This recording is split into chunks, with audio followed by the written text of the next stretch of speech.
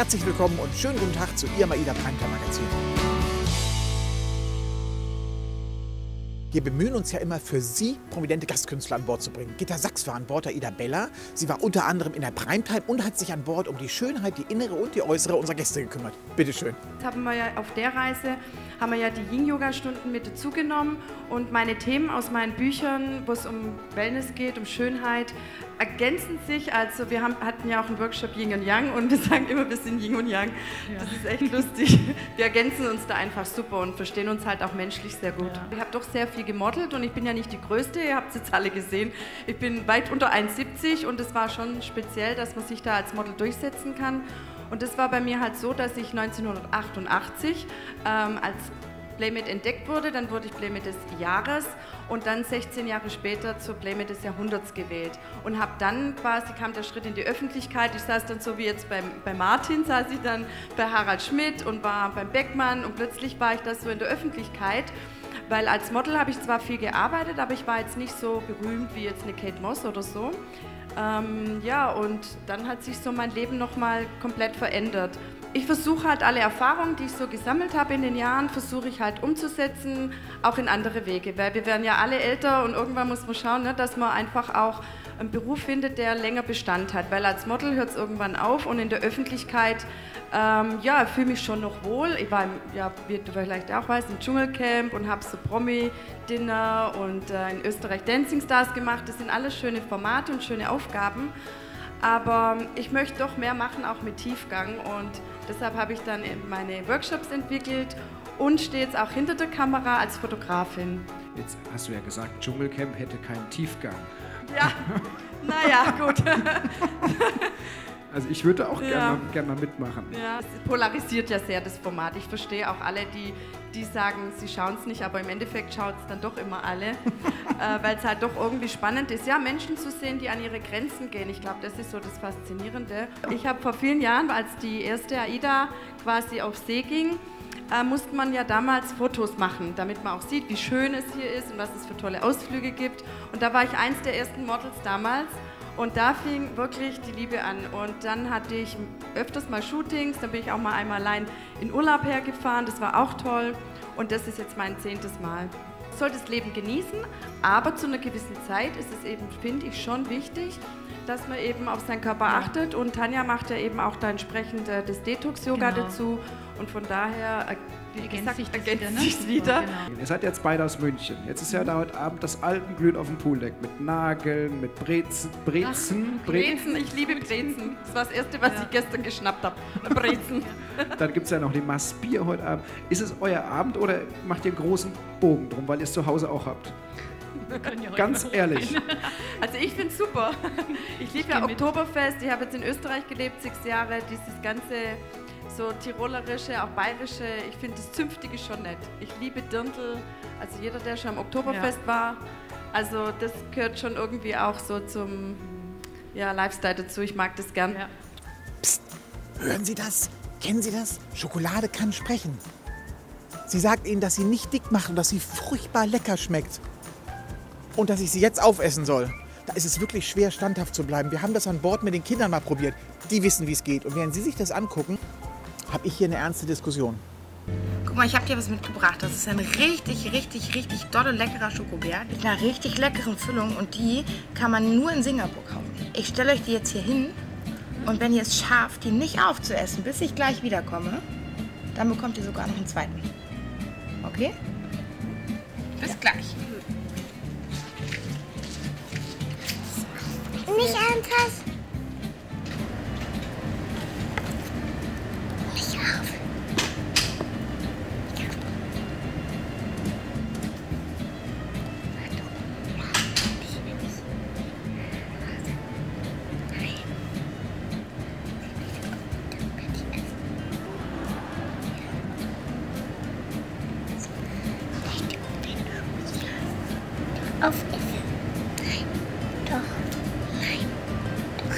gesagt.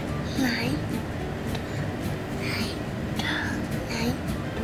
Warum nicht? Komm, wir essen ja. Nein. Doch nur Leute. Wir sollen es jetzt aufessen. Und sie gekommen ist und es noch nicht aufgegessen hat, ist, dann kriegen wir die Belohnung. Willst du eine Belohnung oder nicht? Ach du, Kita. das.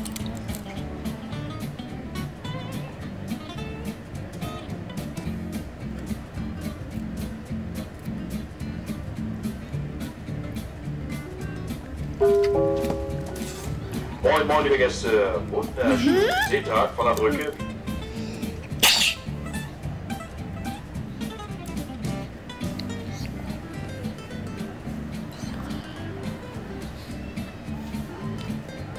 Komm, wir essen die schon.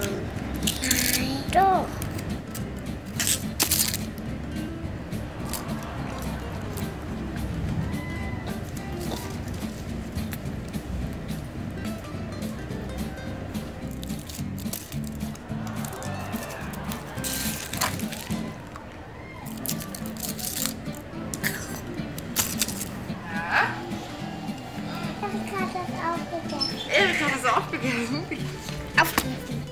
Aufgegessen? Hat er dich so nett angeguckt, dass du ihn aufessen musstest?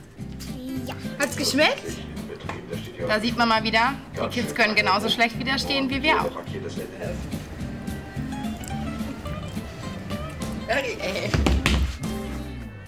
Oh. Zugegebenermaßen, die Schokolade hatte die besseren Argumente. Und während die Schokolade jetzt in meinem Körper ansetzt, habe ich eine richtig gute Nachricht. Wir haben eine Methode entdeckt, wie man die Kilos, die man sich draufgefuttert hat, direkt wieder los wird. An Bord wird jetzt gebobbelt. Das geht so. Ungefähr. Gucken Sie mal. Und wir wollen noch mal was probieren. Und zwar richten Sie einmal Ihren Blick Richtung Bühne. Wir probieren mal Folgendes. Und zwar einmal die Hände begründen.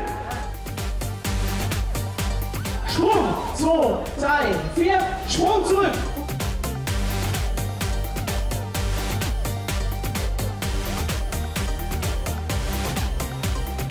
Der Riesenwobble hier auf Aida Stella. Wir grüßen das Primetime Magazin.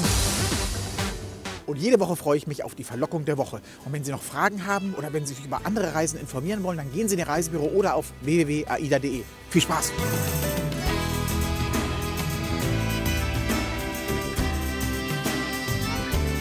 In Gran Canaria starten wir unsere Reise und fahren als erstes zur Blumeninsel Madeira. Danach nehmen wir Kurs auf Lanzarote.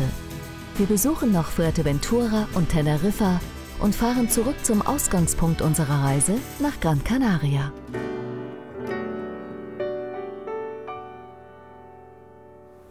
Und zum Schluss wie immer die schönsten Bilder der Woche. Diesmal untermalt mit dem wunderbaren Gesang von unserem Gastkünstler Terrell, Wonderful World. Und Ihnen wünsche ich alles Gute bis zur nächsten Woche. I watched them bloom for me and you, I think to myself, oh, what a wonderful world.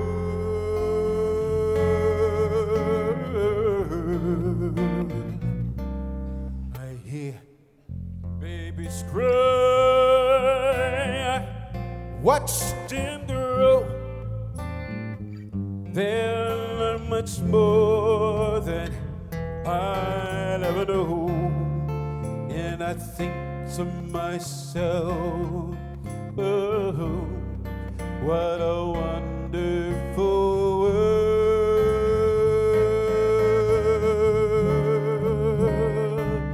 Yes, I think to myself, what a wonderful